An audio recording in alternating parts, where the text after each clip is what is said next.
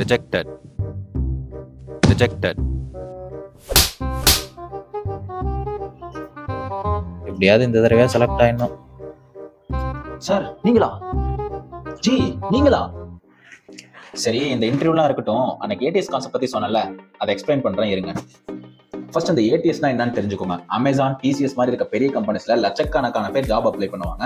So இவங்க records எல்லாமே ஒரு சாஃப்ட்வேர் தான் ரெக்கார்ட் பண்ணி ஹெச்ஆருக்கு காட்டும். இது பேர் தான் ஏடிஎஸ் அப்புறம் ஜி எப்பயுமே ஒரு ஜாப்க்கு அப்ளை பண்ணிட்டு ஃபேஸ் டு ஃபேஸ் இன்டர்வியூ வருவீங்க.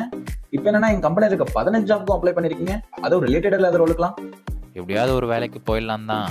ஏடிஎஸ் சிஸ்டம்ல நீங்க அந்த கம்பெனில அப்ளை பண்ணிருக்க எல்லா ஜாபும் உங்க ப்ரொஃபைல்ல காட்டும். ஸோ நீங்க ரிலேட்டட் இல்லாத ரோலுக்கு அப்ளை பண்ணா ஜஸ்ட் டைம் பாஸுக்கு தான் நீங்க அப்ளை பண்றீங்கன்னு ஹெச்ஆர் உங்களை ரிஜெக்ட் பண்ண நிறையவே சான்சஸ் இருக்கு. நெக்ஸ்ட் ஏடிஎஸ்ன்றது ஒரு கீவேர்ட் ட்ராக்கர் ஸோ உங்க ரெசியூம்ல ஜாப்ஸ்க்கு சம்மந்தமா இருக்க ஸ்கில்ஸ் அண்ட் டூல்ஸை இன்க்ளூட் பண்ணி இன்னும் ஸ்ட்ராங் ஆக்குங்க. ஃபார் எக்ஸாம்பிள் நீங்க எம்பிஏ படிச்சிருக்கீங்கன்னா மாஸ்டர் ஆஃப் பிசினஸ் அட்மினிஸ்ட்ரேட்டர் பிராக்கெட்ல எம்பிஏ மென்ஷன் பண்ணுங்க. ஸோ ரெண்டுல எதை சர்ச் பண்ணாலும் உங்களை ப்ரொஃபைல காட்டும்.